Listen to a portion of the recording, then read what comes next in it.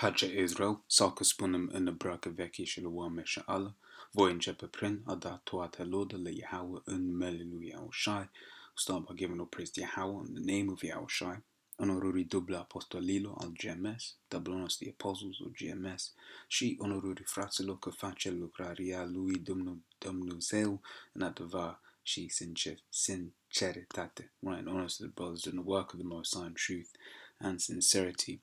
Uh, Romanii uh, 15, um, versete 4, verset 4, right? Says uh, Romans 15 and 4.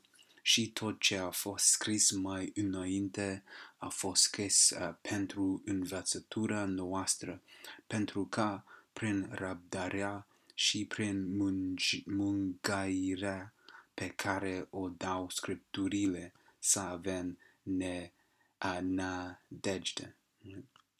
This is Romans 15 and 4. Poveștile scrise de-a lungul Bibliei au fost scrise pentru a le citi uh, astăzi. Right, so this is the stories written throughout the Bible were written uh, uh, for that so that we could read them today. Deci că putem uh, avea credință că Yahweh îl poate salva în orice situație.